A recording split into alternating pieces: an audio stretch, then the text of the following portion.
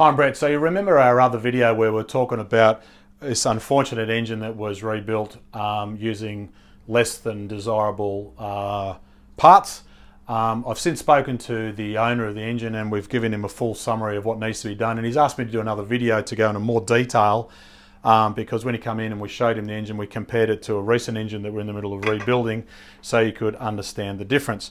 So what I'm going to do in this video is compare um, what I have since found out more information about this engine compared to this engine that we're in the middle and of progressing through to one of our customers' engines, which is a lot more further progressed than this particular engine. So um, one of the things I failed to point out in the last video that was some things we found out later was when this engine was reassembled and whilst it doesn't have the oil pump on the front now, it was missing some, some key components when the engine builder put it back together to locate the timing belt. And what I want to show you is on the front of this engine now, the oil pump's in place, but you see this guide here.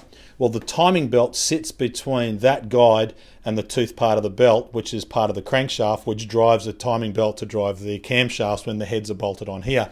Now, that guide is designed to be a tight fit but not rub on the belt, but reduces the risk of the belt jumping off these teeth when the engine is rotating. Now, unfortunately, on this other engine here, this particular part that I've just spoken about wasn't even refitted. And now, that is just absolutely catastrophic for potential engine reliability because you can jump a tooth on the crankshaft pulley and get all your timing out and then you can start bending valves and doing all sorts of other ugly things. And the other thing that I wanted to talk about is on the front of the engine when it goes back together and we haven't fit, we haven't fitted it here but there is a tensioner, which is the um, newer model tensioner which fits on the front of the engine. It's designed to pivot with this hydraulic fitting inside here to keep the timing belt tight. And what that does is this particular bolt here bolts into a bracket that is then in turn bolted to the front of the block and that then pivots up and down. Now what's happened is the previous engine builder has damaged the um, the thread in the bracket and this is not actually the tensioner but there is another tension and this is one of the brackets here up top and I'll show you to you in a sec but the bolt that he used is put a nut on the end of it because the thread in the bracket had been damaged. Now this is a very very critical part of making sure that the tensioner is fitted correctly, aligned correctly to keep the belt tight. Make sure when you're putting this back together that that threaded part there neatly goes into the bracket and it tightens up firmly to make sure that this factory fitted tensioner does the job correctly. Now, what we'll also talk about is if you get down here, we can sort of talk about the differences between the closed decking. Now, this was done by another workshop, it's not done by us. What happened is the client blew a head gasket, pulled the engine apart, and then decided to, um, was convinced by the workshop to close deck it. But when we pulled the engine apart, sitting in the bore here was an enormous amount of oil, and we asked the question of when were the pistons fitted because they looked a lot more older than what we were indicated by the client of when this engine was built. Now, when we found out what had happened was the engine was built, it was run up on the dyno, it then blew a head gasket, they pulled it apart, the builder then convinced the owner to close deck it and then put it all back together.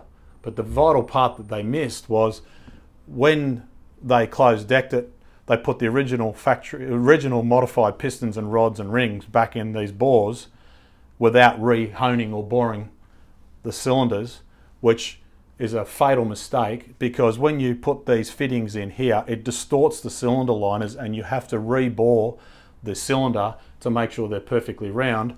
Otherwise the rings won't seat properly and that's the reason why this engine is now consuming a ridiculous amount of oil and when we pulled it apart the bore inside here was just so wet with oil so whereas if you look at this brand new engine here whilst it'll never look like that after it's finished running you can see the surface feature of the closed decking is very very tightly controlled. And it's very very important to make sure this is absolutely 100% flat. But this liner inside here needs to be perfectly round and machined.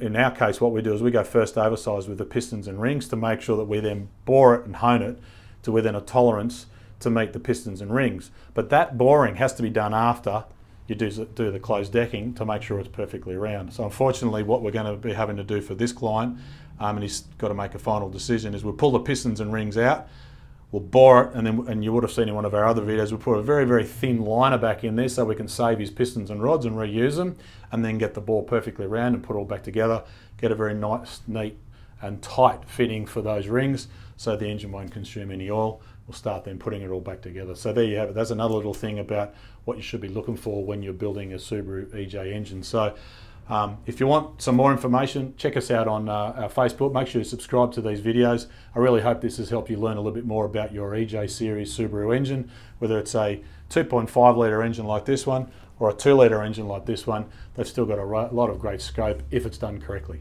So no matter where you are in the world, my name is Brett Middleton. Thanks for watching.